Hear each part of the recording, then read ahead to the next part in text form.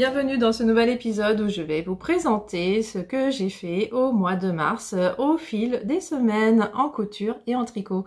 Voilà, donc moi je rappelle, hein, je suis Sophie euh, alias Fifi Brandfield et c'est parti, je vous présente déjà ce que euh, j'ai fait début mars.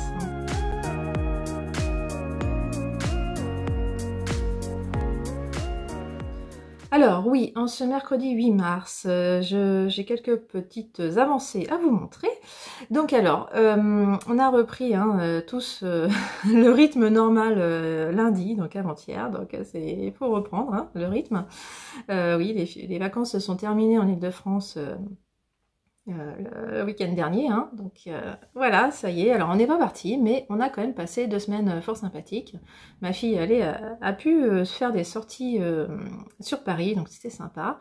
Et moi aussi, j'ai pu aller deux fois sur Paris. Donc j'ai fait une sortie une fois avec une collègue, alors qu'il y a plus une amie qu'une collègue finalement.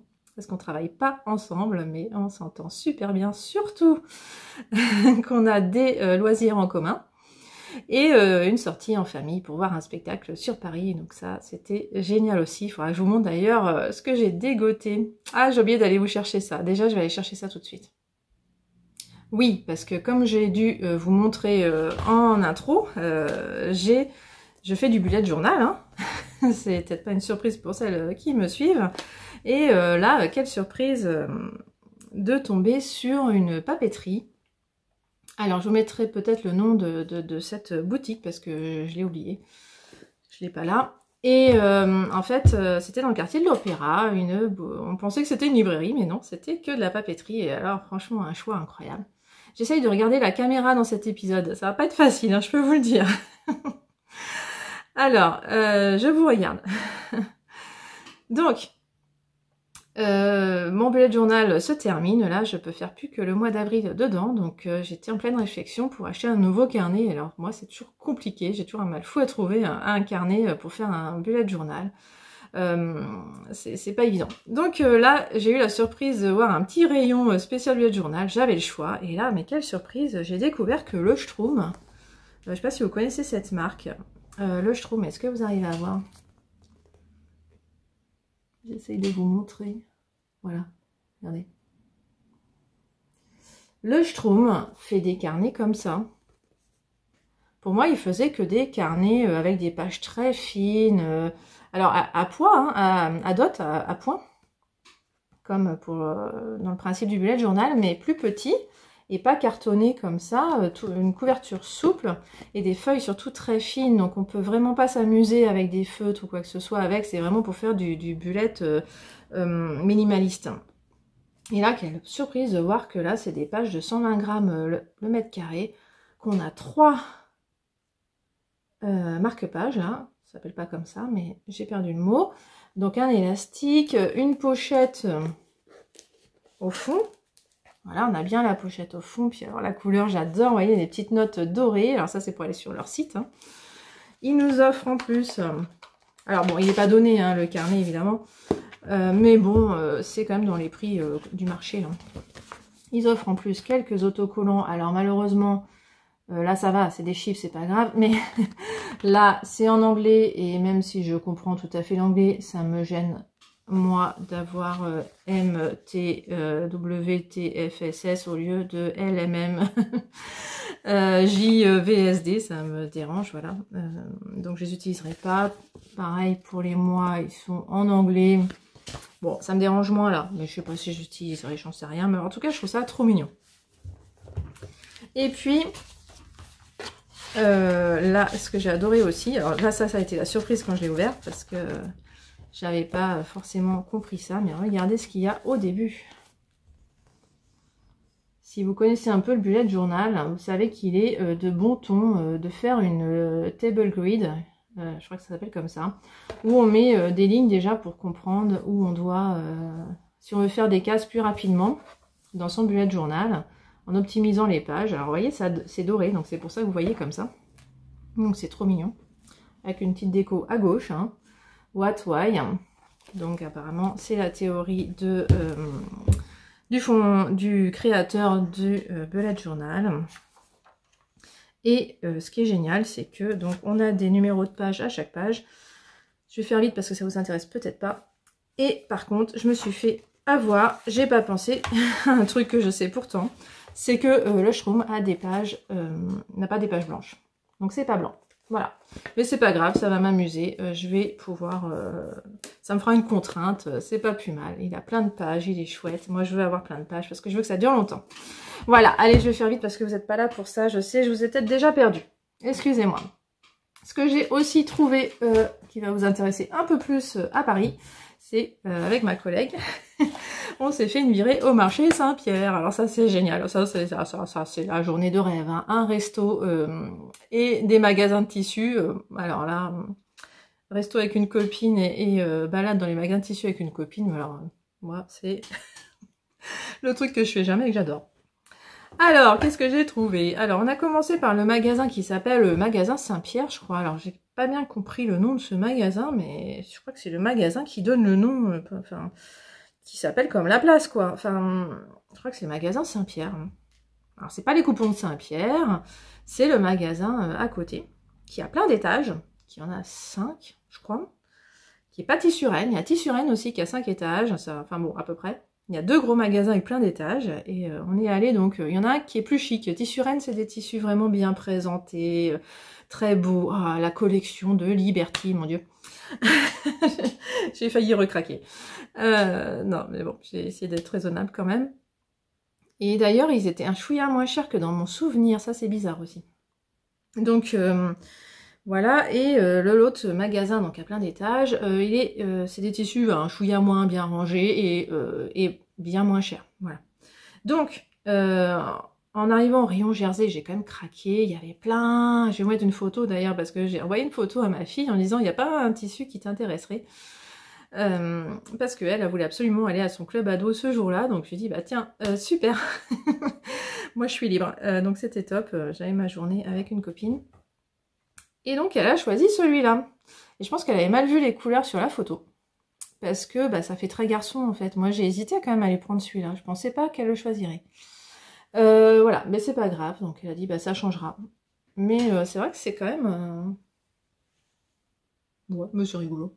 de toute façon, je suis pas pressée de le coudre. J'ai fait un peu une overdose de t-shirt, je crois, là. Hein. J'en ai fait beaucoup. Donc, Mais j'ai pas de stock de jersey. Donc c'est pour ça que je me suis autorisée à acheter du jersey. Moi, j'ai craqué sur celui-là. Alors oui, c'est pas la bonne couleur. Hein. Impossible de rendre ça de la bonne couleur. Imaginez que c'est plus foncé. C'est vraiment framboise. Euh, je j'ai craqué dessus. Je me suis dit, euh, connaissant ma fille, elle va vouloir aussi. Donc j'ai pris 1m50, comme ça je pourrais faire comme l'autre fois. Si elle en veut un, je pourrais lui en faire un. Donc euh, voilà, j'aimerais bien que vous voyez la bonne couleur. Peut-être que je vous incrusterai une photo avec la bonne couleur.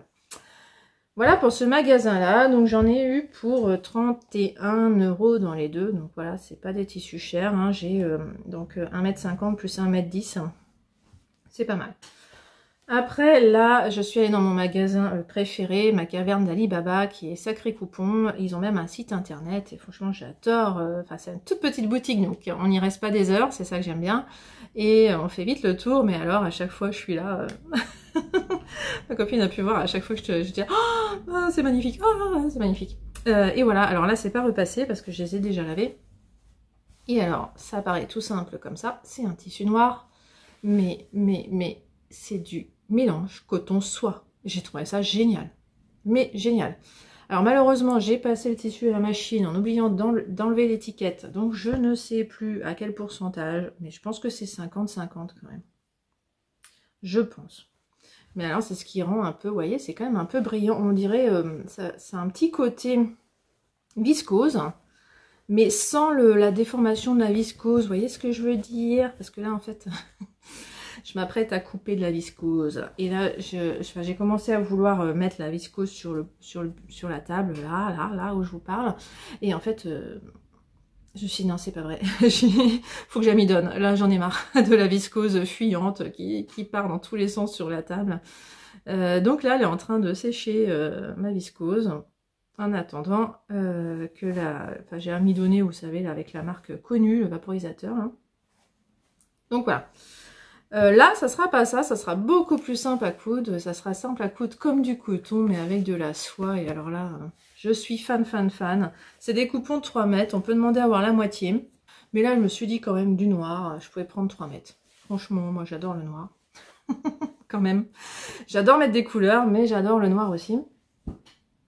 Parce que euh, ça permet de... Euh, on peut avoir du noir ici et faire péter la couleur en bas, et vice versa. Donc c'est génial. Euh, d'ailleurs, j'ai pas dit ce que je portais, c'est le Alocasia de Marie-Amélie Design que j'ai tricoté il y a quelques années maintenant et que j'ai envie de remettre parce que j'ai chaud aujourd'hui. Ah, il pleut enfin, oh là là, ah, qu'est-ce que j'étais contente hier soir de voir qu'il pleuvait. Euh, oui. Désolée si vous comprenez pas ma joie. Euh, je suis pas toujours... Mais bon, moi je trouve qu'il a vraiment pas assez plu ces derniers temps, ça a commencé à m'inquiéter. Euh, bref, donc euh, c'est peut-être pour ça qu'il fait un peu plus chaud. Donc euh, j'avais besoin d'un colvé. Et puis comme je me suis coupé les cheveux, j'ai envie de colver, c'est bizarre, je sais pas pourquoi. Bref, je divague comme d'habitude. en couture, donc pour finir sur la couture, j'ai cousu, je vous avais montré, donc dans le dernier épisode, j'ai cousu un soutien-gorge, je vous le remets là. C'est le modèle Talisman d'étoffe malicieuse. Alors je l'ai porté euh, plein de fois depuis. Euh, je l'adore, vraiment j'en suis ravie. c'est vraiment en, au porté qu'on sait. Et donc je me suis dit qu'il fallait vraiment que je fasse la petite culotte assortie. Donc c'est ce que j'ai fait. Donc c'est toujours, alors je ne l'ai pas encore portée dans la vraie vie, hein, je préfère vous la montrer neuve, euh, tant qu'à faire quand même. J'ai juste essayé sur une culotte pour enfin sur, sur moi par-dessus une culotte pour vérifier la taille et c'est bon. Euh, voilà, c'est le modèle plume euh, d'étoffe malicieuse, toujours, j'avais acheté en même temps. J'avais déjà prévu le coup. Et c'est nickel, j'avais assez de reste de euh, dentelle pour faire cette culotte.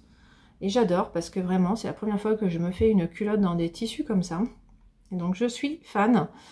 ça change vraiment des, culottes de, mon patron, des culottes menstruelles. Hein. Franchement, là, c'est plus du tout le même style. Alors, je pourrais mettre un petit nœud là, mais j'ai la flemme m'en fiche pour ce qu'elle va être vue ma culotte. Et donc, euh, ce que j'ai dû rajouter, donc c'est euh, ce tissu-là. Donc c'est ce que je disais dans, dans le dernier épisode, que j'avais trop, j'étais trop contente d'avoir trouvé dans mon stock un, reste de, de, soie extensible. Donc c'est forcément pas que de la soie, je sais pas ce qu'il y a d'autre.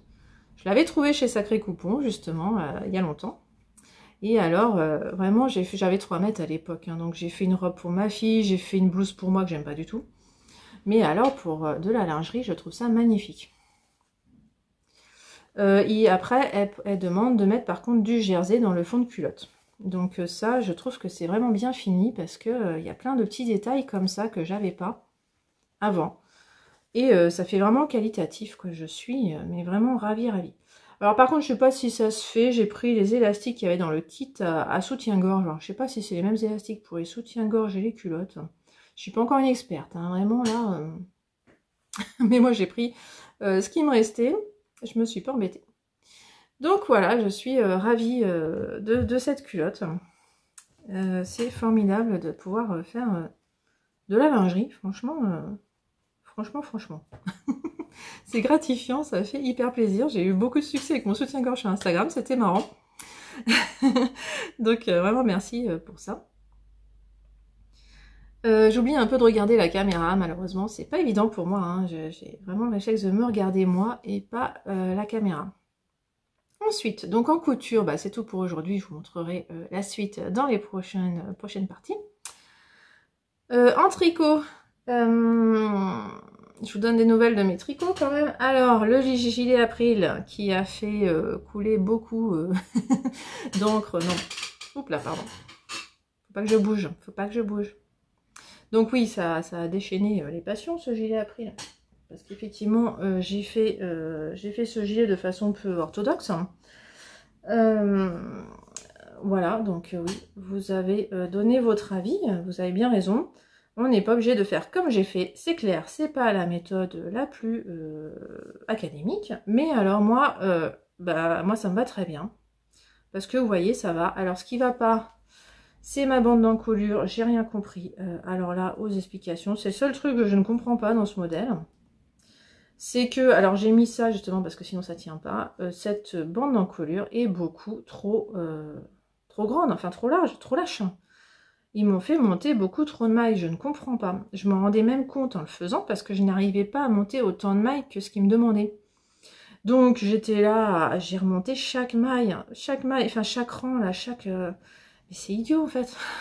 Et, malgré ça, j'arrivais pas au nombre. Vous voyez, ça tient pas parce que c'est beaucoup trop lâche. Euh, je, je, donc je vais pas vous l'essayer, ça ressemble à rien.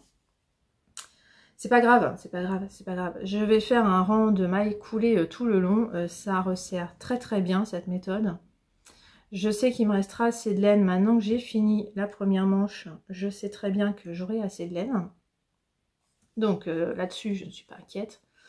Je suis juste voilà déçue d'avoir suivi sans réfléchir les explications parce que là, franchement, j'aurais fait à ma technique, j'aurais relevé deux mailles sur trois, bah ça aurait pas fait ça. Donc c'est dommage. Parce que bah, sinon, donc avant que je mette la pâte de, boutonnage, euh, il me va très bien. Si je laisse vraiment la pâte de boutonnage gondoler comme ça, il me va très bien. Voilà, mais, là, voilà, il tient pas, quoi. Bon, j'ai mis ça pour aider à ce qu'il tienne. Voilà, donc vous le verrez mieux hein, la, prochaine fois, parce que j'aurai, quand j'aurai fait euh, tout le tour, là. mais bon, je suis ravie de ma manche. Donc je rappelle, hein, j'ai repris les mailles ici voyez, là, j'ai fait un montage euh, quand je suis arrivée, parce que je suis partie du bas. Quand je suis arrivée ici, j'ai fait un montage provisoire sur câble. C'est un tuto de Claude Tricot sur YouTube. Et je suis partie comme ça. Alors bon, j'ai eu quelques commentaires qui me disaient qu'il fallait pas faire comme ça, mais euh, bah voilà, enfin c'est pas grave. Moi, ça me va très bien. Là, je me suis rendu compte que j'avais vraiment bien fait euh, de faire la manche de haut en bas, parce qu'en fait, encore une fois, les dimensions ne me convenaient pas. Euh, j'ai tricoté euh, les centimètres qu'ils ont demandé. J'ai essayé sur moi, c'était beaucoup trop court. Euh, donc, j'ai rajouté les centimètres. Alors, je sais plus combien, hein, mais voilà. Alors ça, c'est toujours mon... De toute façon, c'est mon problème récurrent. Je vous en parle dans tous les épisodes. Les manches sont trop courtes, les manches sont trop courtes. c'est moi qui ai des bras longs, hein, c'est tout. donc ça ne veut pas dire que si vous le faites, ce gilet, les manches sont trop courtes. Hein. C'est moi qui suis comme ça. et et parce qu'en fait, j'y pense, euh, il y a la EF là, donc euh, je vais vous en parler. Euh, si vous y êtes allé quand vous voyez la vidéo et que vous avez craqué sur ce gilet April, vous inquiétez pas quoi. Franchement, retenez juste qu'il faut remonter moins de, mailles. Enfin, faites pas attention au nombre de mailles qui demandent. Faites deux mailles sur 3, trois mailles sur 4. Enfin, franchement, c'est pas, faut pas suivre forcément. Il suffit d'avoir un multiple de 4 plus 2 pour finir par des mailles en droit en bas là donc euh, qu'on voit pas. Voilà. Voyez, même là, c'est trop lâche. Donc, euh, ça fera du bien que je fasse un rang de mailles coulées au crochet. Donc voilà, ça m'a permis vraiment d'essayer au fur et à mesure. Le fait de faire de haut en bas, c'est vraiment qu'on peut ajuster la longueur. Moi, je ne sais pas ajuster la longueur si je fais de bas en haut. Alors, peut-être que vous, vous savez, mais tant mieux, hein, parce que moi, je sais pas. Tant que j'ai pas euh, associé, associé la manche ici, je peux pas savoir, quoi. Là, la, longueur, là, j'ai fait au pif. Bon, coup de bol, ça va. Parce que je suis pas exigeante sur la longueur d'un gilet, quoi. Ça va, j'ai de la marge. Je suis très exigeante sur la longueur des manches. Parce que alors, c'est un gilet hyper chaud. Mais quel bonheur, cette laine en double, là. Mais, c'est une chaleur, c'est d'une douceur. Oh, mais vraiment, à chaque fois que je l'ai essayé, j'avais pas envie de l'enlever, quoi. Dès que je l'enlevais, j'avais froid, quoi. C'était vraiment terrible. Hein. là, vous voyez comme on fait des diminutions drastiques à la fin c'est impressionnant quoi donc euh, c'est marrant. Bon euh, mon, rabat il est faut dire hein, un peu trop large on le voit bien là. C'est mon rabat aussi qui va pas. Euh, pour revenir à ma pâte de boutonnage hein, j'aurais dû faire un rabat beaucoup plus serré je sais que c'est ça aussi le problème hein. c'est pas que le patron c'est moi aussi qui ai fait là ça se voit c'est clair. Pour la manche c'est pas grave. Franchement ça me va très bien. Donc je vais pas refaire le, le rabat. Puis au moins comme ça bah parce que là, en plus, c'est pas très extensible, hein, donc euh, bon, euh, ce petit point de maille euh, glissé, là, ce petit motif. voilà, donc bah, je vais faire la manche, alors j'ai mis 8 jours exactement pour faire cette manche, donc je pense que quand je vous reparlerai, j'aurai quasiment fini la deuxième, peut-être fini, parce que la deuxième me prend toujours moins de temps, j'ai pas besoin d'essayer pour, pour voir la longueur, là, hein, c'est bon. Voilà, donc bon, il n'est pas très présentable aujourd'hui, je vais arrêter là, il faut vraiment que je l'arrange. Euh, je sais même pas, j'aimerais bien vous le montrer quand même avec la pâte euh, refaite. Donc c'est même pas sûr que je finisse la manche euh, pour mercredi prochain. Je vais voir dans quel ordre je fais, mais j'aimerais bien vous montrer quelque chose de, plus présentable que ça, parce que là, c'est n'importe quoi. Je suis même pas sûre qu'il tienne, parce qu'en plus, il est pas symétrique, donc il penche. voilà, donc le gilet, j'en suis ravie, mais ça se voit pas encore qu'il est bien. voilà, c'est tout. Euh, on va passer euh, rapidement à la suite. Je vous rappelle quand même pour la laine, peut-être juste hein, euh, que c'est la laine Honeymoon d'Annie Blatt, qui est merveilleuse. 72% super mohair, 28% soie. Et vraiment, je l'adore. Je vais pas vous montrer mon... de toute façon, ça fait déjà 21 minutes que je parle. Euh, je vais pas vous montrer mon Love Note parce que moi, je fais jamais comme les autres. Hein. Tout le monde dit dans les podcasts, on n'arrête pas de voir ce pull. Hein. Euh, c'est rapide, c'est rapide. Euh, non, bah, si on le tricote pas, c'est pas rapide. Je le tricote plus. Il est en train de dormir, clairement. Je l'ai même pas apporté. Tout simplement parce que... Alors, je sais pas pourquoi. Si, il y a deux raisons. je voulais avancer ma manche il n'est plus du tout euh, compatible déplacement, mon Love Note, parce que pour le moment, il me suivait partout. Là, c'est plus possible parce que j'ai décidé d'alterner les deux échos. Parce que c'est de la LITLG et que c'est très contrasté. J'ai mis les deux échos à côté, je me suis rendu compte qu'ils n'étaient pas tout à fait pareils. Et j'ai vu dans un épisode de L'eau demoiselle qui disait aussi qu'elle avait eu euh, besoin d'alterner avec euh, de la laine LITLG. Euh, j'avais déjà décidé avant d'alterner, donc là c'est le bazar, parce que bah, du mohair, alterner, enfin ça s'en mêle tout le temps. Et puis par contre, bah, je suis allée deux fois à Paris en RER, e et euh, vendredi je vais au salon Aiguille en Fête en RER. C'est pas possible, je vais pas faire des heures comme ça dans le RER sans tricot. Donc j'ai castonné, alors ça tombait bien en plus parce que là j'étais en mode... Euh, oui, il faut savoir je suis en mode toujours euh, tri, je jette, euh, je recycle, je vire. Et là, je me suis dit que c'était, parce que dans, mes projets 2023, j'avais prévu de faire une couverture. Et là, je me suis dit, mais non, ça va pas, il faut vraiment que je tricote mon stock. Parce qu'à couverture, j'ai pas la laine, parce que j'avais prévu de faire une couverture unie. Donc je me suis dit, ça va pas du tout, il faut que je tricote mon stock. Et à force de voir des couvertures dans les podcasts, je me suis dit, mais non, c'est vraiment pas ça dont j'ai envie, j'ai même pas assez de laine, j'ai pas assez de reste pour faire une couverture, tout simplement. Par contre, je me suis dit, mais j'ai assez de reste pour faire des chaussettes. Donc je me suis amusée à faire des associations de laine pour faire des chaussettes. Euh, j'en ai quand même trouvé 5. Hein. Je peux faire 5 chaussettes avec mes restes. Donc je me suis dit, allez, on fait ça plutôt que de euh, racheter de la laine pour faire une couverture. Ça sera quand même plus intelligent. Et une chaussette, quoi de mieux, pour le RER. E c'est super, on a un petit pochon comme ça, c'était même plus petit euh, la plupart du temps parce que je prenais pas mes deux pelotes, parce que j'ai décidé... Alors, comment vous expliquer ça? Je vais vous faire ça dans l'ordre.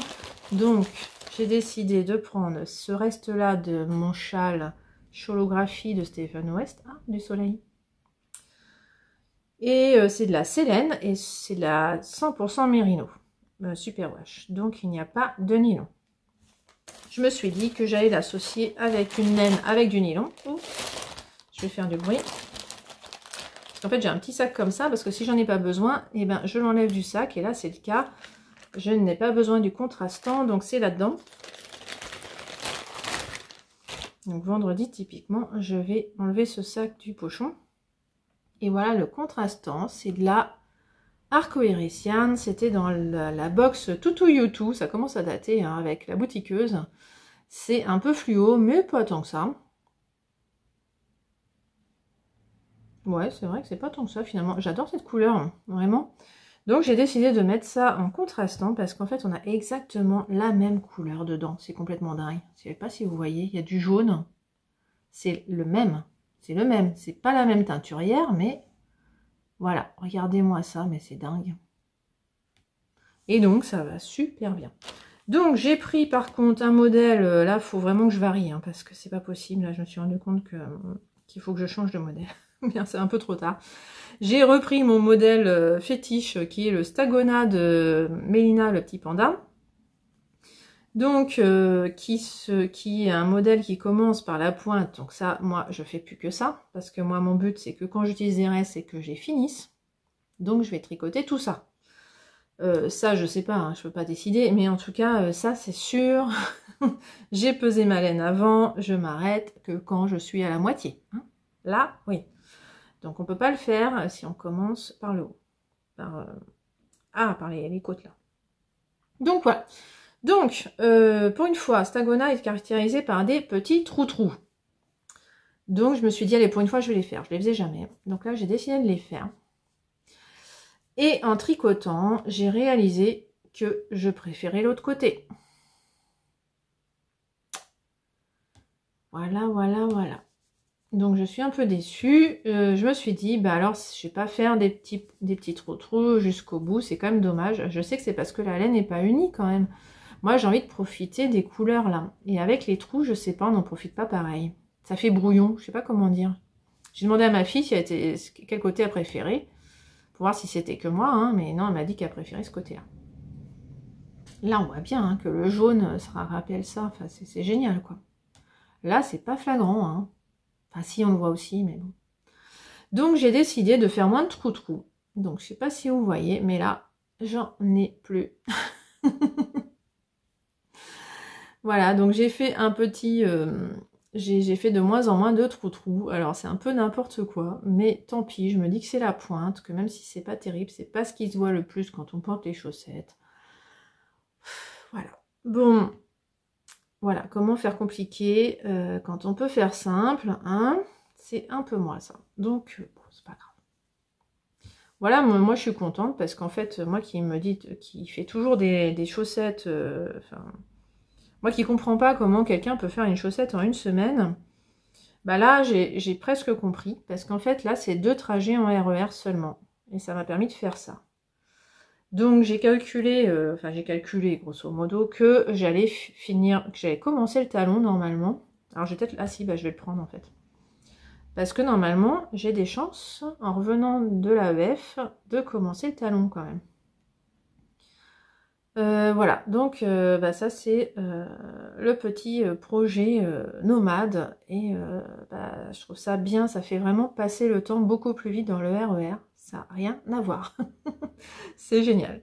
Puis alors c'est vraiment très pratique, on n'a rien qui gêne, enfin c'est génial. Voilà, bon bah c'est tout ce que j'ai à vous dire pour ce mercredi, donc je vous retrouve mercredi prochain. Tout de suite pour vous donc.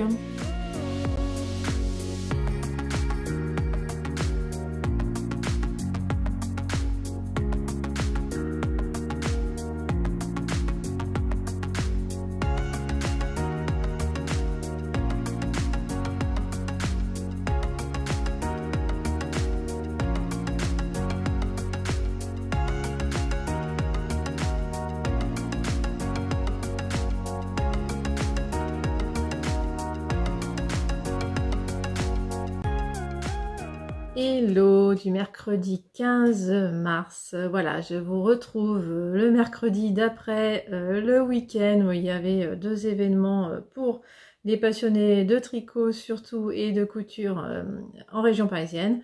C'est extrêmement rare, faut quand même le savoir, on n'a quasiment pas de salon laineux en région parisienne quand même. Hein. Donc je ne suis pas allée à Malakoff, voilà, faut, on peut pas être partout, hein. j'ai préféré aller voir euh, Céline à Orsay euh, sur un fil, elle avait personne en plus, on avait la boutique euh, pour ma fille et moi, c'était top.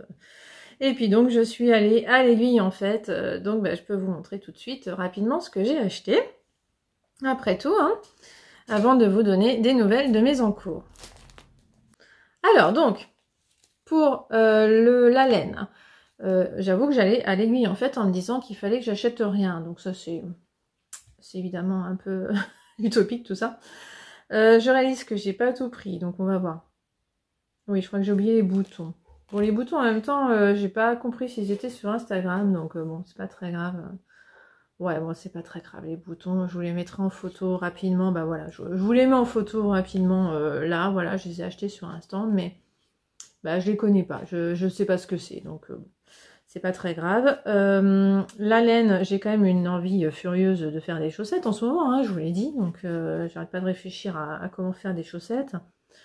Donc, ben, naturellement, enfin, naturellement, non, ça faisait quelques temps, je me disais, ah, si seulement, enfin, en fait, à chaque fois que je cherche des modèles sur Avelry, c'est toujours les modèles en, rose clair que je trouve beau. Quoi. Je me dis, mais en fait, quel est le point commun entre toutes ces chaussettes que je trouve belles? Eh ben, c'est la couleur rose clair. Donc, bah, tout naturellement, j'ai cherché de la laine à chaussettes rose clair au salon aiguille, en fait, et c'est pas simple. Hein. parce qu'au pôle éthique, elles n'ont pas le droit de vendre de, la laine avec du nylon. Donc, j'étais très limitée sur les stands. Et puis, bah, j'ai vu que bah, Laine Amoureux, évidemment, euh, elle, elle pas au pôle éthique et elle vend un peu de tout.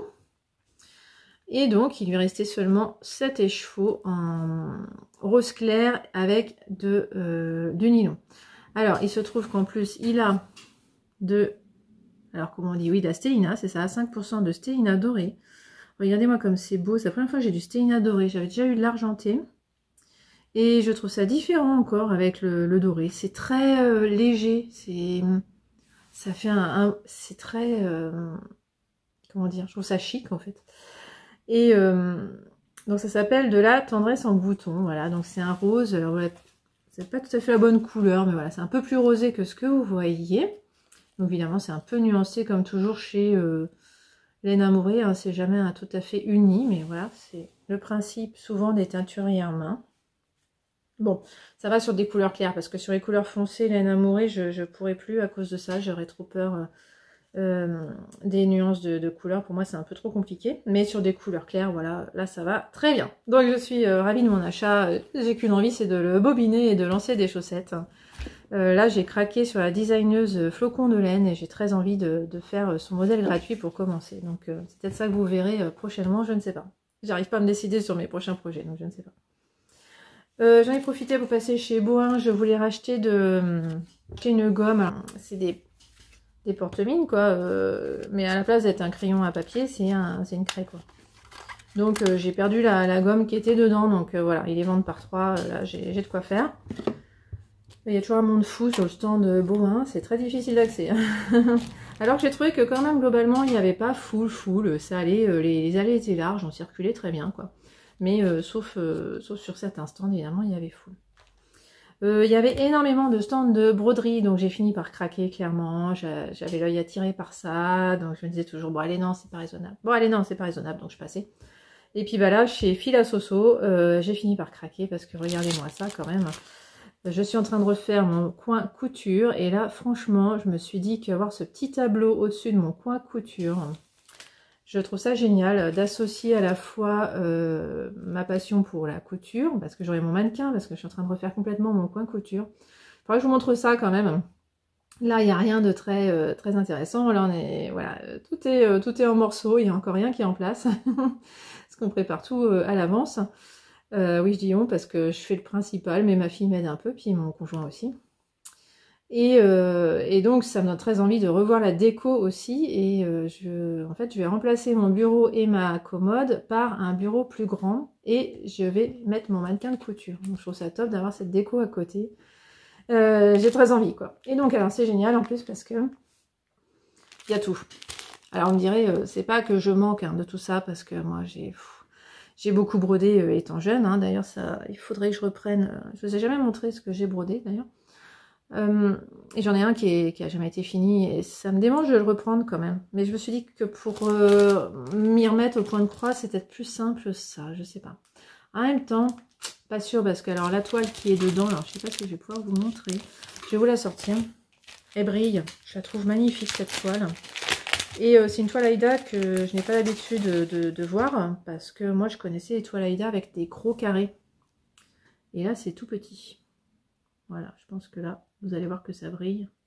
Voilà. Donc c'est la première fois que je vais faire du point de croix euh, sur, de, sur de la toile comme ça, aussi fine. Alors pas de chance pile hein, quand, j'ai vu qu'il commence à baisser avec l'âge. Hein, euh, il y a deux ans ça aurait été beaucoup plus simple, mais bon. Donc il y a un petit euh, moulinet avec, hein, donc c'est en noir, c'est tout simple. Il y a même une aiguille, alors ça moi comme j'ai jamais trop d'aiguilles, c'est très bien. Et puis donc comme vous avez vu, il y avait un petit modèle offert en plus, donc je trouve ça mignon, tout plein. Et grâce à Fila Soso, d'ailleurs, euh, j'ai su qu'il euh, y avait un, festival, un salon euh, Do It Yourself au mois d'octobre à Thoiry. Il est là, voilà. Donc, c'est mille et un fil, tout simplement. Ah, je devrais le savoir, moi qui est Sophie Branfield, quand même. Donc c'est la sixième édition, je ne connaissais pas, mais voilà, on voit bien, c'est broderie, couture, tricot, dentelle, patchwork, quoi. Mais bon, voilà, pour le moment, je sais même pas s'il y a 20 exposants de cités sur le site. Hein. Je pense qu'ils sont encore ouverts aux candidatures, je ne sais pas. Voilà. J'aimerais bien qu'il y ait les fameuses teinturières qu'on n'arrive plus à voir nulle part. J'aimerais bien qu'on les voit en région, enfin nulle part en région parisienne, quoi. Yarneline, Tricot et Stitch, euh, euh, Arcoiris Yarn, pour ne citer qu'elle, que je ne vois plus euh, en région parisienne, quoi. Moi, je trouve ça triste. Donc, bon, je manque pas de laine, mais j'ai envie de les voir quand même. Bref, on avance. donc, ensuite, j'ai craqué sur un petit kit parce que je vous avais montré hein, que j'avais fait une trousse euh, grâce au kit de Atelier ABCDR et ils étaient encore là donc je suis allée voir, euh, les remercier encore pour leur trousse parce que j'ai adoré coudre et donc j'ai repris un kit parce que en ce moment j'ai une passion pour les mésanges euh, qui viennent taper à ma fenêtre quand je travaille parce que bon c'est pas pour me faire coucou malheureusement mais bon n'empêche que moi ça me permet de les voir bien et je les trouve tellement mignonnes mais vraiment mignonnes elles sont vraiment comme ça là quand elles viennent me voir oh là là je trouve ça trop mignon voilà. Bon, c'est la saison qui veut ça, ça va pas durer, donc il faudrait que je me dépêche de, la de cette trousse. Pas gagner. Ensuite, alors je n'avais pas prévu d'acheter du tissu, vraiment pas. Et puis c'est vraiment en partant. Mais c'est vraiment tout bête. Hein. Je sais même pas si je vous avoue comment je suis tombée là, mais, c'était vraiment bête. Je cherchais les toilettes avant de partir, quoi. Et je me suis trompée parce qu'en fait, moi, je regarde en haut où sont les toilettes, mais en fait, euh, à, Porte de Versailles, en fait, le, salon aiguille, en fait, prend que la moitié d'un hall. Donc moi, j'avais vu au loin les, toilettes de la partie euh, vide. Donc en fait, j'allais à l'opposé des toilettes. Mais bah, ça m'a fait aller chez euh, Joël Tissu. Et voilà, je suis tombée... Pourtant, j'étais déjà passée devant, hein, j'avais fait toutes les allées. Mais je sais pas pourquoi. la première fois, je l'avais pas vu. La deuxième fois, je l'ai vu, celui-là il m'a fait de l'œil. Alors par contre, voilà, euh, ce problème des tissus foncés, alors je sais pas comment fait euh, SB Création, Sandrine, parce que je trouve que les tissus foncés, souvent ça... Euh, ah oui, mais elle tricote pas, c'est peut-être les tricots qui viennent mettre... c'est peut-être le mohair qui vient se mettre dessus, je sais pas. voilà, vous voyez, c'est un tissu noir, mais avec plein de petits reflets bleus. Oh mince J'attends un colis et je viens de voir un, une camionnette de la poste passer, mais il s'est pas arrêté. J'aurais bien aimé vous montrer. Bon, je vous le dis tout de suite d'ailleurs. Je me suis arrêtée chez Annie Blatt. Vu que je suis en train de tricoter un modèle 2. Donc, euh, d'ailleurs, je me suis fait mal. Hein. Je suis allée revoir leur modèle de gilet April. Euh, le, leur est mieux fini que le mien. Mais ça, c'est pas grave, hein, hein quand même a dit. Hein. Euh, la principale, c'est que c'est moi qui l'ai fait. Et que personne va aller comparer les deux, sauf si moi, comme une andouille, je me mets à côté avec le mien, ce qu'il faut pas faire. Donc, on s'en fiche, mais moi j'ai eu des... Voilà, comme je vous ai dit, hein, euh, j'ai dû faire un rang de, mailles coulées pour euh, resserrer mon gilet. Je vous montre ça tout de suite. Hein. Mais euh, voilà, ils n'ont pas eu besoin de faire ça, eux, donc ça fait des finitions plus jolies, quoi, forcément. alors pour finir donc avec le... oui, donc Annie Blatt, oui, voilà, je perds le fil de mes pensées. Annie Blatt, j'aurais acheté de la laine. Mais Annie Blatt, on repart pas avec la laine qu'on achète. On l'achète, on paye, et on attend que de la recevoir chez soi après. Donc euh, là, normalement, il arrive aujourd'hui, mon colis, parce que c'est hyper rapide. Hein. Il poste le truc, il prépare la commande dès le lundi. Hein. C'est hyper rapide. Et donc, moi, j'ai un message qui me disait que je recevrai euh, mercredi. J'attends. Euh, donc, le dernier achat, alors ça, c'est le premier que j'ai fait. Je suis tombée à peu près la moitié, parce que moi, je fais les, allées dans l'ordre. À peu près la moitié, je suis tombée sur elle, Clématis Pattern. Et alors, euh, sur le moment, j'ai pas réalisé, mais c'est parce que euh, j'avais pas vu encore de stand de patron avant, en fait. Et j'en ai pas vu encore après. Je crois qu'elle était toute seule. Hein. Non, mais très peu de laine, euh, très peu, et, pas de patron de couture. Enfin, voilà, c'était un peu dommage, mais bon, j'ai compris, hein, c'est hyper cher d'être exposant à ce salon. C'est un, en plus euh, du salon CSF qui était quand même il n'y a pas longtemps. Donc je pense que ça fait trop pour certains exposants. Clairement, financièrement, c'est pas facile. Mais donc voilà, ça m'a permis de, m'arrêter euh, cette fois parce que j'avais déjà hésité euh, au salon CSF. Je crois qu'elle était là parce que je me souviens avoir déjà hésité sur ce stand. Je sais plus quand c'était. Mais c'est pour une stature d'un mètre 65. Donc je sais que les manches vont être trop courtes, toujours le même problème. Tiens, parlons de manches trop courtes. voilà. Alors, euh, c'est pas une veste du commerce, j'ai quand même faite. Hein, euh, bref, donc je sais qu'il va falloir que j'allonge les manches, mais c'est pas grave, c'est facile. Euh, pareil, je peux, je peux allonger le, le la, la, chemise. Bon, elle est assez technique quand même, il y a plein de petits détails. Hein. voilà, je vais pas aller à la simplicité. Hein. Bon, c'est pas grave. Voilà.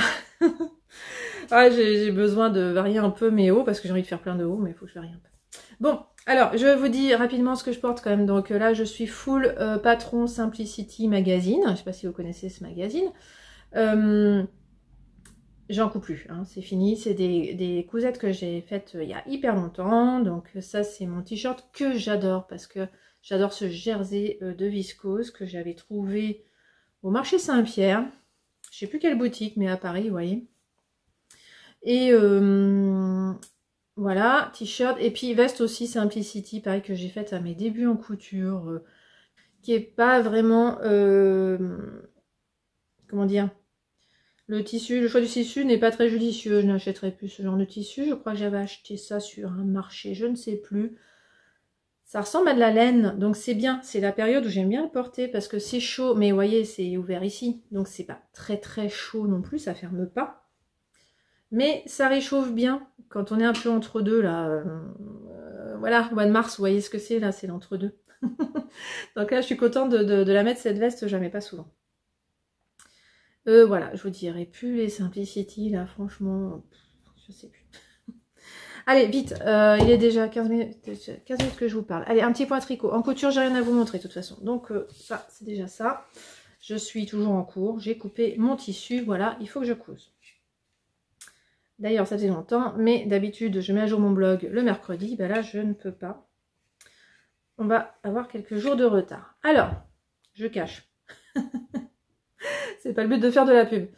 Euh, donc, le gilet, je vous le montre comme il faut. Alors, attendez, j'ai pris celui-là parce qu'il se tient. Voilà, il se tient très bien. Voilà, on est bien.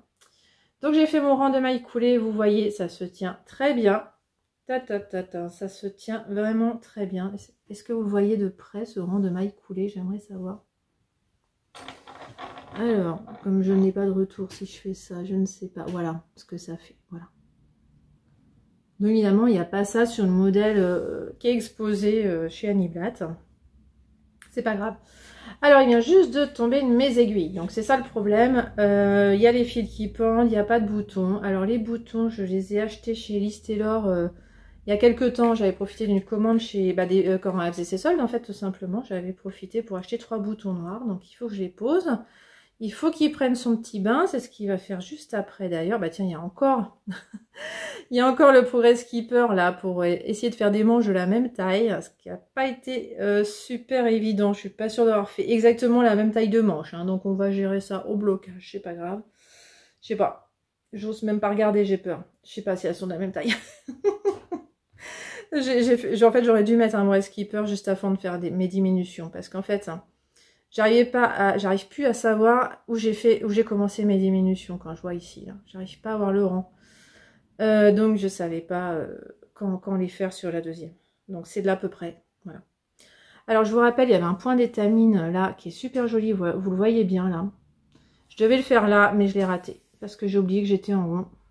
Et donc il fallait que si on me dit de faire un rang endroit sur l'envers, il faut que je fasse à l'envers sur l'endroit. Voilà, ce que j'ai pas fait sur la première manche. Et donc sur la deuxième, j'ai décidé de faire la même bêtise parce que euh, même si j'avais compris, il va mieux que je fasse la même bêtise pour être euh, pareil. voilà. Voilà, au moins j'ai les mêmes manches. Euh, voilà, parce que de toute façon, personne va avoir le nez sur mon petit point d'étamine. voilà, c'est pas très grave. Voilà, c'est pour vous dire, il n'est pas aussi bien fait que le modèle sur le salon. Donc moi, je ne pourrais pas être testeuse hein, pour un salon, enfin sample knitter je n'arrive pas à faire euh, tout à fait comme euh, il faut. c'est pas grave.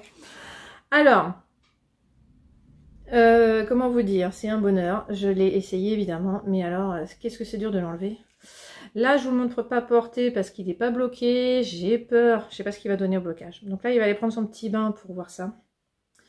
Là, il me va parfaitement. les manches, ça me va parfaitement. Bon, allez, je vais vous le mettre quand même, ça sera plus simple. Et comme ça, vous verrez avant et après blocage. Donc allez, j'y vais. Voilà, regardez-moi ça. franchement, là, euh, nickel, quoi. Ah, bah oui. Bon, bah ça, ça ira mieux au blocage, clairement. Et puis, bah, il y aura les petits boutons ici.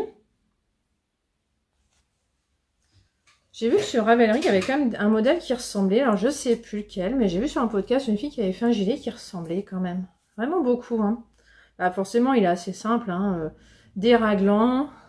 Euh, des manches, on fait pas de diminution. Elles sont hyper larges, les manches. Je les ai tricotées sur un câble de 40 ans.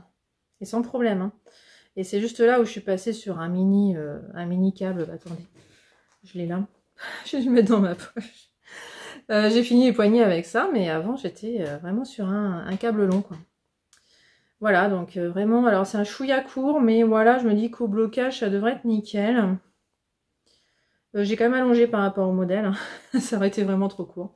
Et il tient très bien. Voilà, je suis ravie parce que il fallait ça, il me fallait mon rang. donc j'ai pris mon crochet, puis en plus on a regardé Peter Pan, donc j'ai réalisé que je faisais mon rang au crochet en regardant le capitaine crochet. voilà pour l'anecdote.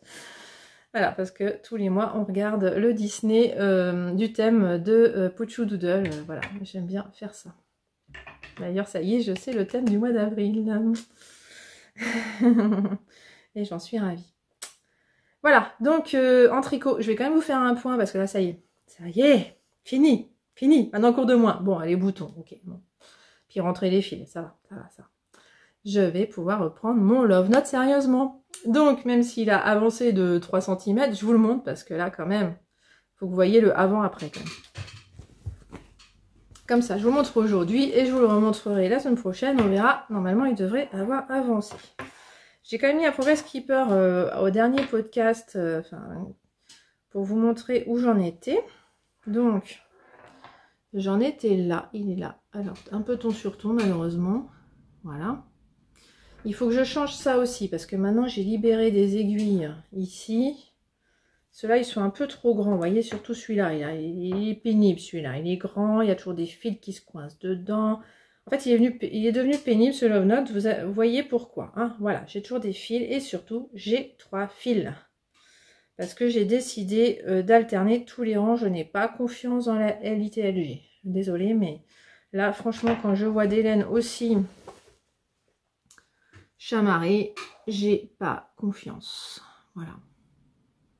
Moi, je trouve qu'il y en a une qui paraît plus claire que l'autre, clairement. Clairement, clairement. Il y a plus de clair là que dans l'autre. Donc, j'alterne. Ah, vous voyez, j'ai quand même tardé à alterner, hein, euh, voilà. Mais, euh, et puis, j'ai que ça. Donc, alors, euh, elles font quand même 420 mètres, je crois. Un truc comme ça, ouais. Je pense que ça va aller, mais Bon, on va Il va quand même falloir que je m'arrête avant la fin du corps. Alors, enfin, avant la fin du corps, façon de parler. J'ai décidé de faire la longueur minimum vitale pour moi, enfin, comment dire, portable par mois. Et après, je m'attaquerai euh, à l'encolure, là. Et après, comme ça, je verrai ce qui me reste euh, pour faire les manches. On va faire comme ça. Donc, voilà. Est-ce que ça se voit que j'alterne? Alors non, hein, c'est un ray de lumière, ça. Alors, j'alterne depuis 3 cm, hein, donc pour le moment, je pense que ça peut pas se voir. Mais, ouais, ma foi, on voit rien, je trouve. On verra plus tard, 3 hein, cm, c'est pas représentatif. Hein. Voilà, donc euh, j'ai fait quoi depuis que je vous ai laissé? Je sais pas, mais pas beaucoup. Ça fait quoi, ça 5 cm 6 mais donc voilà, euh, il devrait là maintenant dérouler euh, sans problème, ça va être mon tricot du soir, ça y est, donc il va avancer. J'en suis ravie, parce que là, il était vraiment à l'abandon, le pauvre. C'était vraiment, si je me retrouvais en voiture et que je conduisais pas, hein, que je pouvais l'avancer de quelques rangs, ce qui a été très rare ces derniers temps. Voilà, c'est pour ça qu'il n'avançait pas. Trois en cours, je sais pas gérer. Donc voilà. Là, j'ai plus que deux en cours. Celui-là. Bon, deux et demi, parce que, ok, il faut que je passe une petite séance bouton. Ah bah oui, bah oui, oui, le facteur est passé. On va pas déposer de colis. Forcément, c'est pas lui qui dépose les colis. Oui, j'attends j'attends mon colis Aniblat, moi. Ça se voit. Hein. Alors, le deuxième euh, en cours, évidemment, c'est ma chaussette. Alors moi, j'en suis ravie, là, parce que c'est ma chaussette RER. E Donc, comme j'ai pris trois fois, quatre fois le RER. E Alors oui, euh, en une semaine, euh, effectivement, c'est pas, pas énorme comme avancée, mais si vous savez que je l'ai tricoté que en 4 séances, ma foi, bah c'est pas si mal, quoi, parce que ça y est, j'ai... Alors attendez, comment je vous montre ça? Bon, grâce au contrastant, on voit où j'en suis quand même, mais on voit rien. Ah, j'ai peur de perdre mes mailles. Alors, si je mettais des bloqueurs aussi, hein? Bon, bref. Euh, on est où, là? Comment on va faire? Attendez. Comme ça. Je vais vous la montrer comme ça, voilà. Ah, c'est pas préparé. Hein. Ah là là là. Voilà, avec un fil qui me gêne évidemment. Voilà ce que ça donne avec le petit talon. Donc j'ai fait la moitié du talon en rang raccourci. Euh, voilà, parce que j'ai fait euh, la première euh, série de, rangs raccourcis. Et puis, donc c'est rangs raccourcis à euh, Turn. Voilà, Wap Turn. Donc j'aime bien, c'est facile, c'est cool. J'aime bien ce modèle, je rappelle, hein, c'est le Stagona de Meina, le petit panda, qui vient de ressortir un podcast, donc ça c'est chouette. Qu'on voyait plus trop hein, depuis la naissance de sa fille. Elle, explique pourquoi, effectivement, c'est pas simple. Donc euh, voilà. Je l'avais même aperçu euh, chez sur un film, mais bon, je n'avais pas osé lui parler. Clairement pas. Voilà. Il euh, faut que j'arrête de bouger. J'ai rien de plus à dire. Je suis contente de mon avancée pour le peu de temps que j'y ai passé. Par contre, en plus, il m'a permis de faire la connaissance d'une fille sur le retour du salon AEF euh, dans le tramway parce que j'avais sorti et elle est venue me, parler euh, grâce à, ça en me posant des questions sur ce que je tricotais. Donc ça, c'est top. On a pu faire connaissance, on a pu papoter pendant l'heure, l'heure et demie à peu près hein, de retour parce qu'on avait à peu près au même endroit. Donc ça, c'était fort quand même. Euh, voilà, c'était trop drôle. Et euh, bon, maintenant, je ne sais pas euh, comment m'organiser pour continuer cette chaussette. Je n'ai plus prévu de prendre le RER e du tout. Donc il faut que je change d'organisation pour mes tricots. Donc je pense que je vais me mettre des mini-objectifs pour l'avancer parce que j'aimerais qu'elle soit finie au mois de mars en fait tout simplement. Donc je vais tout simplement me mettre des mini-objectifs chaque jour où je ne suis pas sur site, parce que j'aime pas me mettre des objectifs euh, tricot les jours où je suis sur site, je sais que je tricote très peu, c'est pas la peine, mais les jours où je suis pas sur site, je vais me mettre euh, là, bah, le prochain objectif, ça va être de finir le talon, évidemment. Hein. Puis après, moi, je vais faire en sorte, après, il faut que je pèse la laine hein, pour savoir comment utiliser la moitié de cette laine. Je veux absolument tout utiliser parce que, quoique, euh, je suis en pleine euh, réflexion sur la suite de mes projets parce que je sais que ça va pas durer longtemps cette chaussette. Il faut que je me décide sur le prochain projet. Et je m'interroge beaucoup. J'avais prévu de faire un châle, je vous en parle depuis des mois, j'ai prévu de faire un châle en mohair, le Six Woman Shawl. Et en fait, j'ai plus envie. J'ai plus envie de faire de châle. Euh, alors, faut dire, forcément au mois de mars, on a moins envie de faire des châles en mohair. Hein. Je pense que c'est vraiment la météo qui me fait, euh, qui me fait cet effet-là. Et euh, donc, euh, j'ai toujours envie de tricoter des chaussettes. En plus, chez sur un fil, j'ai craqué là-dessus. Je vous l'ai pas dit. Dans la crème queue, je vois ça, je suis attirée par les couleurs, moi. Oh là là, je trouvais les couleurs magnifiques. Bon, je me suis dit, oh là là, bon, après, par contre, ça va faire des chaussettes hyper bariolées, ça. Puis là, me dit, c'est l'autorayon, hein. C'est l'autorayon c'est l'autorayon, ça Oh, bah alors là, j'achète. Bah, j'achète. Parce que là, ça fera beaucoup moins bariolé. ça fera quand même assez propre. Donc, euh, voilà. Alors, il y a 100 grammes. Il y a de quoi faire deux paires de chaussettes. C'est pas mon truc de faire deux paires de chaussettes. Euh, pareil, pas pareil. Ah oui, ça fait des chaussettes pareil, pas pareil, en plus. Donc, je sais pas en plus. Euh, bref, j'ai envie de faire des chaussettes, quoi. Hein Parce que j'achète des laines à chaussettes. voilà. J'ai même un châle de prévu. Je voulais faire le Vezenia Shawl et j'ai réalisé que c'était quand même de la laine à chaussettes que j'ai prévu là-dedans. Donc j'ai envie de faire des chaussettes encore.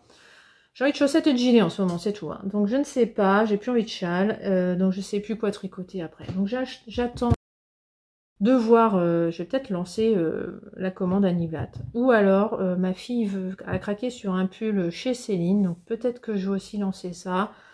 Euh, voilà, je, je sais plus. Bon bref, c'est pas grave, ça fait 30 minutes que je parle. Donc je vais m'arrêter là et je vous dis à dans une semaine et donc deux minutes pour vous.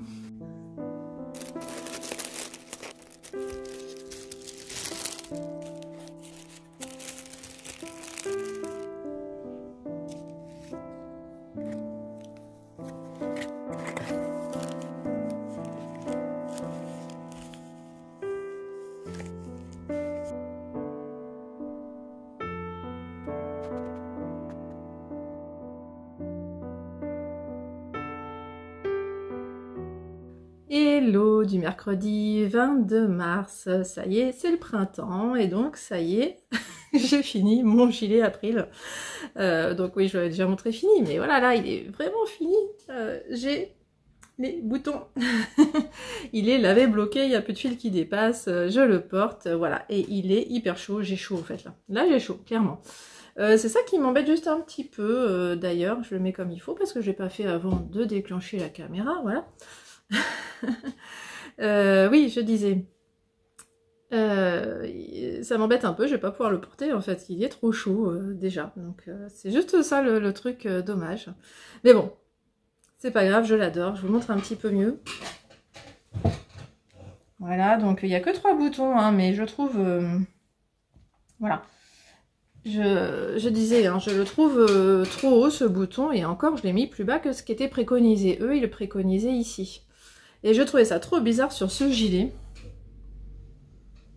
Je sais pas, je trouvais ça bizarre. Et même là, en fait, je trouve que c'est trop haut encore. Je j'aime pas trop quand c'est comme ça. Je sais pas. C'est pas... Euh, oui, si. Si, mais ouais, je sais pas. Je préfère quand il est... Euh, alors peut-être que j'ai mal placé aussi, je sais pas. Le, bouton, je veux dire, par rapport à la boutonnière, je sais pas, bref. Moi, je porte comme ça, je préfère. Puis alors, il est tellement chaud, de toute façon, j'ai qu'une envie, c'est de le défaire, en fait. C'est que du moire, je le rappelle. Hein. Et alors donc, il s'est bien grandi au blocage parce que regardez les manches maintenant. Euh, si vous vous souvenez, il y a 10 minutes pour vous là, euh, elles étaient, euh, elles étaient comme ça, hein, je crois. Et maintenant, bah voilà, elles, sont comme ça quoi. Donc voilà, il, a pris son ampleur, il est bien. Heureusement que j'ai resserré ici parce que vous voyez, il a déjà tendance à glisser hein, parce que le mohair, ça. Alors, j'ai mis un top en soie, c'est pour ça qu'il glisse aussi. Ça, c'est un top en soie que je m'étais fait L'année dernière, je crois, c'est un modèle euh, Burda. J'ai oublié, il faudra que j'essaye de vous retrouver quand même les, articles de blog. Je vous mets tous les liens normalement en bas. Hein. Donc normalement, je vous mets les articles de blog euh, euh, de, chaque, de chaque vêtement que je porte. Et puis même ce que je vous présente si c'est déjà sur le blog. Normalement, vous avez tous les liens. donc n'hésitez pas à aller voir si vous avez des questions. Bon, on va essayer d'être concis parce que je suis déjà à presque une heure. Bah, je suis déjà à une heure de vidéo, clairement. Et j'ai plein de choses à vous dire. Alors, on va essayer de faire concis. Euh, déjà, ce que je voulais vous dire, euh, on va commencer par le plus court. Couture. j'ai tout rien à vous montrer. J'ai coupé une robe et une jupe dans les chutes euh, de la robe. C'est toujours pas fini parce que j'ai pas eu le temps de coudre, parce que, je vous rappelle, je suis en train de rénover mon coin couture. Et ça y est, c'est le plus gros effet, donc j'en profite, je vous montre. Alors je vous montre comment c'était avant en fait. Euh, donc c'est ça, c'est mon coin couture euh, que j'ai depuis 2007. Euh, Alors je coupe que depuis 2000, fin 2010. Donc pendant trois ans, il servait pas du tout à la couture, mais voilà, j'avais déjà ce bureau depuis 2007. Donc voilà, il a quand même duré 15 ans. Ce bureau, c'était fait que de récup. Que de récup, vous voyez. Il n'y a rien qui va ensemble. L'étagère à droite qui fait le pied de, la table, ça dépasse complètement du bureau. Donc c'était pas toujours pratique, j'avais pas la place pour ma surjeteuse. Vous voyez déjà, j'ai dû acheter ma surjeteuse euh, recouvreuse en fonction de la place que j'avais. Donc j'ai dû prendre le premier modèle Babylock qui, qui, était combiné parce que les autres étaient trop grosses. Je regrette pas, hein, je changerai pas de combiné pour autant parce qu'elle me va très bien. Donc donc ça me va très bien et, euh, j'aimerais pas que ça prenne plus de place pour autant, mais voilà. Donc euh, en tout cas, ça fait plus d'un an que je me lassais de ce bureau. J'avais envie de changer, j'avais envie de couleur claire en fait, parce que tout était foncé. Et j'avais envie de faire du tri, de faire, euh, d'épurer tout ça, parce que vous voyez la commode là, ça donne une impression qu'il y a plein de trucs. Enfin bon. Donc je voulais euh, virer la commode déjà, ça c'est sûr. Et euh, je voulais carrément une pièce à moi, parce que c'est ce qu'on voit souvent. Les filles ont souvent des coins à une pièce à elles. moi, j'ai pas réussi à avoir une pièce à moi, donc je me suis dit allez, je vais essayer à une pièce là mais c'était pas simple, elle fait que 7 mètres carrés. La grande armoire est déjà utilisée par mon conjoint, donc euh, il y a déjà la table à repasser, mais ça c'est bien pour la couture, mais surtout il y avait un lit, euh, et il y a toujours un lit, une personne, et dans une pièce de 7 mètres carrés, quand je vous dis qu'il y a déjà tout ça, bah il reste plus grand chose. Donc, euh, donc je me suis dit, je me disais qu'il fallait que je vire ce lit, mais il y avait toujours quelque chose qui me tiquait quand même. bah déjà parce que ce lit on l'a quand même payé cher mine de rien mais bon il sert à rien donc tant pis. Hein, et puis je pense que c'est invendable un lit comme ça, je ne sais pas. Et, et puis de toute façon, ce qui me tiquait, c'était qu'en fait, euh, le matin, moi je coule le matin et j'étais beaucoup mieux finalement euh, côté euh, chambre, parce que là, ce que je vous ai montré, c'est dans, ma chambre, dans notre chambre. Finalement, j'ai décidé, ça a fait titre, je me suis dit, il faut que je laisse mon bureau du côté de la chambre, parce que je suis sud-est tout simplement et je coule le matin.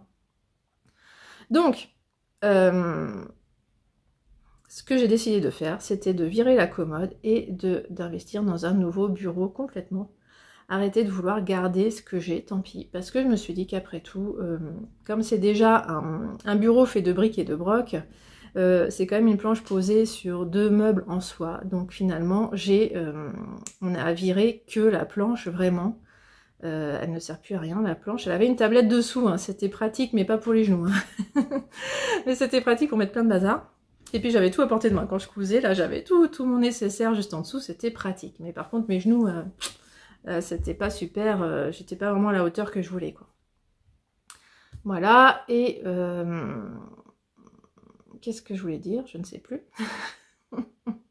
voilà, donc le bloc tiroir à gauche avait été chiné dans un vide-grenier, l'étagère à droite c'était une petite étagère Ikea, et donc bah, on a pu les recaser à l'étage, toujours dans deux autres pièces. Donc ça c'est cool. Euh, pareil, ma commode a trouvé sa place dans une autre pièce. D'ailleurs, je vais vous montrer euh, maintenant où est ma commode et cette petite étagère. Donc c'est cette fameuse pièce de 7 mètres carrés où il y a donc euh, derrière moi un lit et une table à repasser. Donc je suis un peu... j'ai pris du recul pour vous filmer ça parce que c'est tout petit, hein, vraiment. Et donc, euh, bah, je suis contente parce que voilà, euh, tous ces meubles vont ensemble. C'est la même euh, série d'IKEA qui ne se fait plus depuis longtemps. Hein. Tout ça, ça date de, fin des années 2000. donc ça fait longtemps que ça ne se fait plus. Encore un peu au début des années 2010 quand même, ça se faisait. J'ai déjà oublié le nom. Enfin bon, c'est des meubles très foncés. C'est vrai que c'est plus trop la mode. Donc de toute façon, ils devaient moins en vendre. Bref. Euh, voilà, donc allez, euh, sans transition, je vous montre mon nouveau bureau. Ça y est, voilà comment c'est maintenant. Euh, j'ai deux caissons Alex, le truc qu'on voit partout, mais je comprends parce que bah, c'est super pratique, c'est joli, enfin vraiment c'est super bien pensé, ces blocs tiroirs, ah, j'adore.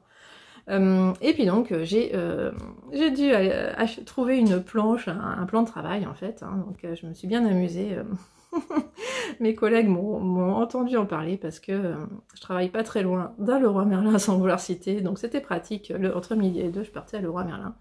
Et finalement, c'est même pas là que j'ai acheté ma planche, c'est ça qui est drôle.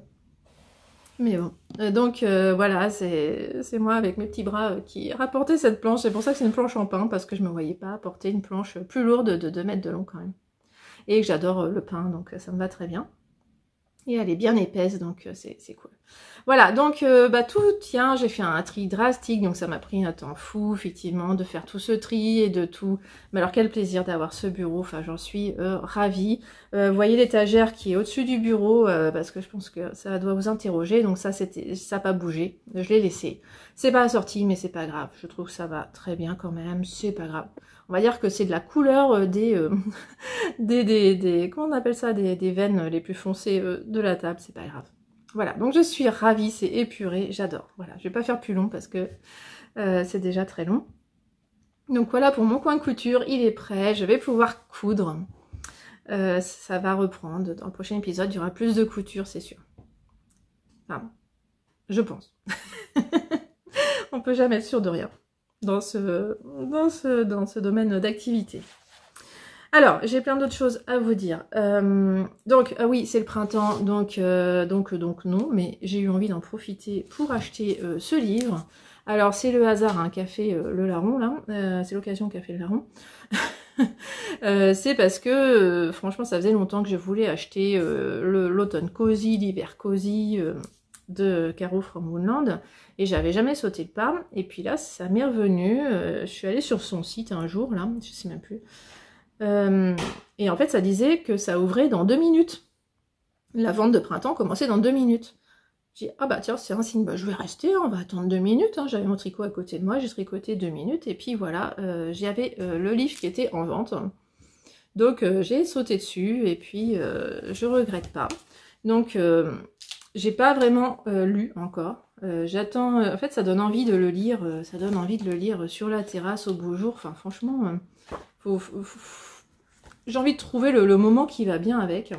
Je l'ai pas encore trouvé. Par contre, bah, il y a des recettes et ça, par contre, je me suis lancée dedans tout de suite. Donc, j'ai testé les madeleines à la fleur d'oranger. Et c'est la deuxième recette, donc je vais faire la première recette et je vais essayer de les faire dans l'ordre, ça va m'amuser ça. voilà, je vais faire les recettes dans l'ordre déjà dans un premier temps.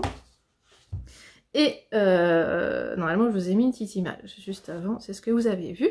Ensuite, pour faire rapide, pardon, j'ai un café qui refroidit. Donc ensuite, euh, je voulais vous parler de ce télérama. Alors euh, oui, je vous en parle un peu tard, c'est pour ça que je n'ai pas mis sur Instagram, je m'en suis rendu compte trop tard.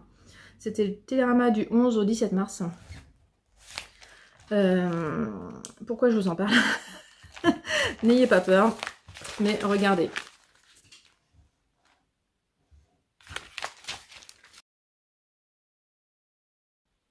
Télérama. Télérama qui nous fait un article sur les tricoteuses. Alors ça franchement, mais franchement, puis regardez ce qu'ils ont écrit quoi quoi. Ringard le tricot, c'est tout l'inverse. Ah finesse, ça fait plaisir de lire ça. Vraiment quoi. À l'ère de l'écoféminisme et du faire soi-même, cette pratique ancestrale dépoussiérée par une nouvelle génération revient en force, plus politique que jamais. Bon, politique, je sais pas, mais en tout cas, revient en force, ça, on est d'accord. Et politique parce qu'effectivement, voilà, ils montrent des exemples qu'il y, a eu des mouvements euh, féministes qui se sont, euh, par exemple, accrochetés des bonnets pour être toutes pareilles. Voilà. Donc, euh, je pense qu'il est euh, trouvable sur Internet, cet article. Alors, pas forcément parce que euh, faut être souvent abonné pour pouvoir lire les articles en entier sur Internet. Mais ça fait plaisir. C'est pour vous dire en tout cas que, que Télérama fait un article intéressant sur les tricoteuses, ne se moque pas de nous. Pas comme l'émission Le Quotidien, si vous avez vu euh, l'émission où tous les ans il parle d'aiguille en fait et il se moque en disant que la moyenne d'âge est de 60 ans euh, à l'aiguille en fait, ce qui n'est pas vrai du tout. Euh, voilà, donc là au moins ils disent bien qu'on a, des, on a des nouvelles générations qui s'intéressent au tricot.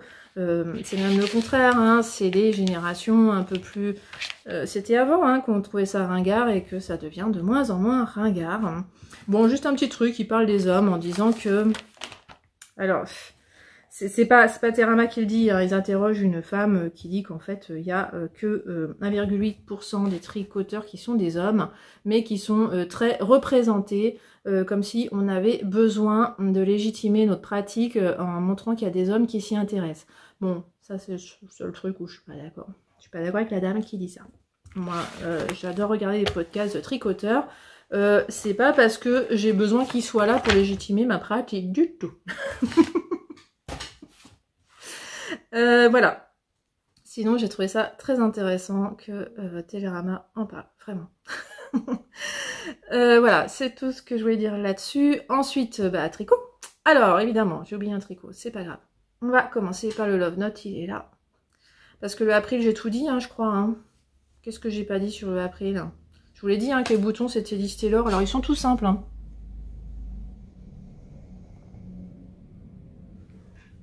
Voilà, ils sont tout simples, mais j'ai pu me faire plaisir parce que bah, quand il en faut que 3, hein, ma foi, c'est cool.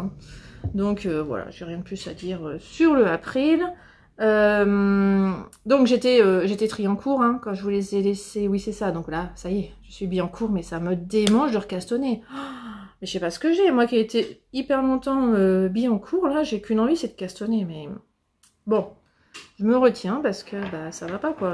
en cours, ça me va très bien. Dès que je suis tri en cours, bah, il y en a un qui, qui, qui n'avance plus, comme le Love Note. Voilà. Alors, bon, le seul truc décevant, la laine est magnifique. Magnifique. Vous voyez pas la vraie couleur du tout c'est catastrophique. Il faudrait que je vous inscruse des images parce que euh, en vrai, mais qu'est-ce que c'est beau là, je le redécouvre maintenant qu'il est dans mon canapé. Alors pardon, par contre, je perds des mailles. Euh, il, traîne dans, le canapé là en ce moment. C'est comme ça que j'arrive à l'avancer parce que euh, j'alterne les échours. J'en ai un de chaque côté de moi. Et puis mon mohair du côté de la pelote que je tricote. Alors lui, c'est le pire. Hein. C'est pas du tout la vraie couleur. Euh, en vrai, il est violet quoi par rapport à ça. Là, vous voyez du rose et puis il est plutôt violet. En fait, il est vraiment euh, de la couleur de celui-là. Mais voilà, euh, ça marche pas. Mais alors, magnifique. Cette couleur, c'est ça qui rend le, Love Note hyper lumineux. c'est super beau en vrai. C'est dommage que la vidéo veuille pas vous le montrer. Même ça, là, j'ai l'impression que c'est orange, ce que vous voyez, alors que c'est rose. Bon, voilà. C'est pas tout à fait fidèle, mais bon. Il y a autre chose à dire sur ce pull. De toute façon, euh, vous allez euh, encore vous récrier, je pense. je sens que vous allez me dire, mais pourquoi t'as fait comme ça? Nanana. Parce que... Parce que c'est fait. Donc, euh, ça, de toute façon, ça sert à rien de me dire j'aurais dû faire autrement, c'est fait. oui, je pourrais faire autrement. je le sais. Voilà. Il est petit. Voilà. Il est petit. On dirait que j'ai fait une taille 12 ans, clairement. Voilà, mais c'est pas grave, c'est comme ça. Euh, ça sert à rien de me dire, j'aurais dû faire autrement. Voilà. Bref. Pourquoi je l'ai fait petit? Euh, Je vous explique quand même brièvement. Je trouvais ce pull vraiment trop loose.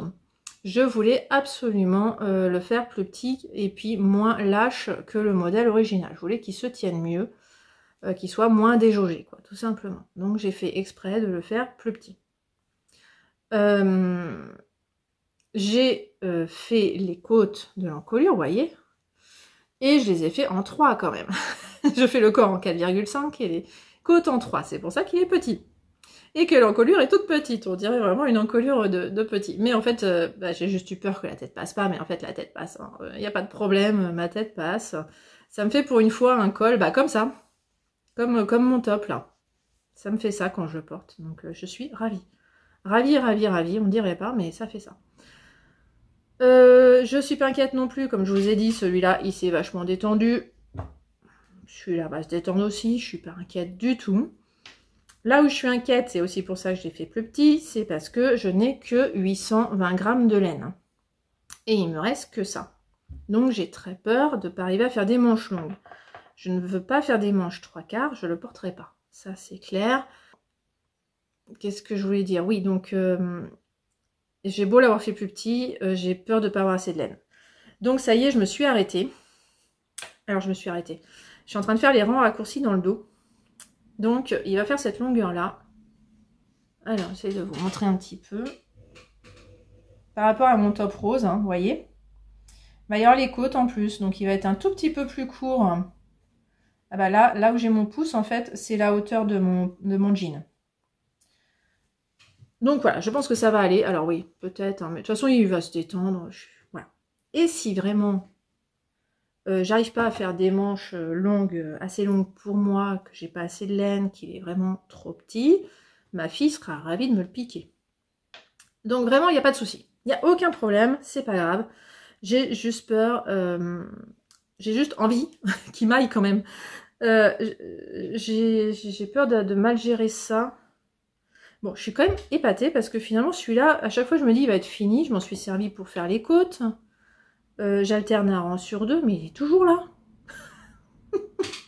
je suis toujours pas arrivée à la moitié en poids. Je suis toujours pas à la moitié, alors quasiment quand même. Hein. Euh, mais je suis à peine à la moitié. Donc, ça devrait aller en théorie. Voilà. Bon, bah, suspense, vous saurez ça de toute façon, pas dans cet épisode. Il sera fini hein, dans le prochain épisode parce que là, euh, comme je vous dis, hein, moi, j'arrête pas de perdre les mailles. Comme je vous dis, moi, je fais les, manches en deux semaines. Donc, euh, bah, comme je vous retrouverai dans un mois, et eh ben évidemment, vous allez voir le pull fini et vous saurez pour qui il est au final. Euh, voilà, je vais vous chercher les chaussettes. Voilà, j'en ai profité pour finir mon café. Je vous épargne ça. Donc, euh, les chaussettes, bah ça y est. Ah, je voulais vous les mettre sur un bloqueur. Bah voilà, c'est raté. Bah, je vous mettrai quand elles seront finies toutes les deux. Parce que je la trouve bizarre comme ça. C'est à force de voir sur des bloqueurs dans les podcasts, je pense que là, sans bloqueur, ça fait tout bizarre. Je vous rassure, hein, euh, je l'ai essayé, bah, je vous ai montré normalement, ouais, je pense que je vous ai mis une vidéo, ou alors je vous la mets maintenant, je sais pas. Euh, ça me va, hein, ça me va très bien. Bon, j'ai craqué. J'ai pas attendu la moitié de, ça pour euh, arrêter la première chaussette. Euh, vraiment, j'aime pas les chaussettes trop hautes. J'en ai une hein, où j'ai vraiment fini, euh, là, bah, d'ailleurs je les ai au pied. Et je les porte quand même, mais j'ai voulu vraiment finir la balle, donc elles sont très hautes, mais ça me plaît pas. À chaque fois, je les poupoum, je les ratatine, je les ratatine en bas sur ma cheville. Donc je me dis que ça sert à rien. Donc j'ai craqué, j'ai fait les côtes, parce que ça, c'est la longueur que j'aime. Voilà. Bon, j'aurais pu faire un chouïa plus long, ça m'aurait plu aussi. Mais franchement, c'est ce que j'aime. J'aime que les soquettes. voilà pour la première chaussette. J'en suis ravie. Ça me va très bien. Et donc, bah, j'ai attaqué la deuxième. Je me mets mes petits objectifs. Alors, pour le moment, je les tiens, mes petits objectifs. C'est cool. Là, ça a été un peu plus tendu parce que bah, je me suis pas mis beaucoup d'objectifs pour lundi, mardi, hein, vu que je suis sur site, je tricote pas beaucoup. Mais euh, là, bah, par contre, aujourd'hui, je, me suis mis comme objectif de faire euh, deux, fois euh, ça. Donc, de refaire ça. Et que vendredi, j'ai fini le talon. Donc, on va voir. Normalement, ça devrait le faire. Ça me motive bien, en tout cas, de me mettre des mini-objectifs. Alors, je dois faire attention à faire les mêmes trous-trous parce que j'ai modifié la, séquence de trous-trous sur la première. Donc, pour le moment, je suis le patron. Et c'est marrant, je savais pas. Elle dit de faire un pied droit et un pied gauche, Mélina. J'avais pas fait gaffe. Donc c'est un peu différent. Bon, pas beaucoup. Hein. Bon, c'est un modèle gratuit. Euh. Mais bon, voilà. Je détaille pas quand même. C'est facile d'aller voir comment c'est fait si vous voulez le faire. Euh, ouais, je sais pas si vous les voyez bien. Bah, faudra que je les lave. Hein. donc je vous les montrerai euh, laver, bloquer là. pour, pour que les trous-trous se révèlent. D'habitude, je m'en fiche. Mais là, je vais quand même les bloquer dans le prochain, euh, prochain épisode. voilà pour les chaussettes. Donc, euh, bah, les chaussettes, là, c'est fini dans une semaine. Donc, je réfléchis déjà à la suite. Et ça y est, je sais ce que je vais faire. Euh, j'aimerais quand même que le Love Note soit pour moi parce que le prochain projet que je lance, là, c'est pour ma fille. Donc euh, bon, elle va avoir deux pulls de suite sinon si, si Love Note pour elle. Bon, c'est pas grave. Hein. du moment qu'elle est contente, moi c'est le principal, mais, mais voilà. Donc euh, oui, j'ai décidé de faire un pull pour ma fille parce que ma fille a craqué. Je vous mets la photo sur ça, dans le magasin de Céline, parce que je l'ai emmené, je vous ai dit. Et euh, c'est Céline qui l'a tricoté. C'est le modèle Reginald de Aurélie Lapoule. Et ma fille, quand elle craque sur un modèle chez Céline, elle veut exactement le même mais le même. Nous, en tant que tricoteuse, bah, à chaque fois, on change les couleurs, on s'en fiche des couleurs, on prend des couleurs après qu'on aime. On arrive à, se projeter, quoi. Euh, non, non, non. Euh, bah, mon, conjoint est un peu pareil. Hein. Euh, quand il voit un modèle qui leur plaît, en fait, c'est le tout. c'est l'habitude du prêt à porter, bien évidemment. Hein. Euh, donc, euh, elle voulait exactement les mêmes couleurs. Euh, je ne voulais pas acheter toutes les couleurs. Moi, je suis vraiment dans une optique là de tricoter mon stock. Donc, il est hors de question que j'achète toute cette laine. désolée pour Céline, hein, j'imagine qu'elle aurait aimé que je lui achète sa laine, mais voilà, c'est pas possible. Je peux pas, parce que ça n'utilise jamais, il faut acheter 5 couleurs, et,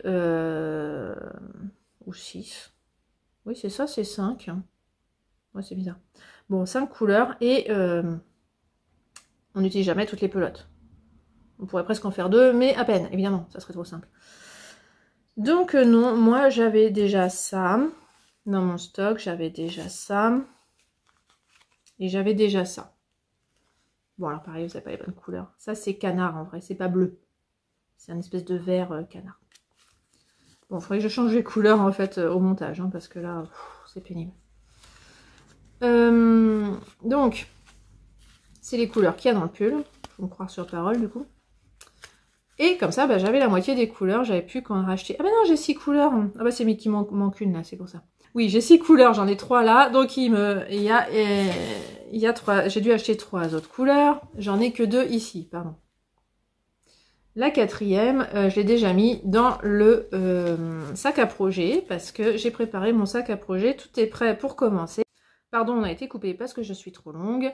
Donc, euh, on commence par la couleur orange. Donc, c'est pour ça qu'elle n'est pas là. Donc, vous verrez ça dans le prochain épisode, le modèle Réginald. Et si vous voulez voir, il y a ma nouvelle copine Anne, Anne le chat qui vient de le tricoter. Elle l'a montré sur Instagram. Donc, j'adore ce modèle en fait. Euh, je suis contente de le tricoter, je pense que ça va être marrant de faire des bandes. Voilà, bah, je vous laisse là, donc je suis ravie euh, de vous avoir présenté mes projets sur trois semaines. Je vous retrouve dans un mois. Merci si vous êtes resté jusque-là, vraiment merci, parce que bravo. Je sais toujours pas, je sais jamais si c'est vraiment intéressant ce que je vous raconte, mais bon, voilà, vous avez toujours des retours bienveillants, donc euh, je trouve ça génial. Donc merci beaucoup à vous, merci pour vos j'aime, pour vos commentaires, vraiment merci beaucoup. Donc, bah, je vous souhaite un bon début de printemps et puis je vous dis à bientôt. J'espère que ça va chez vous. Au revoir.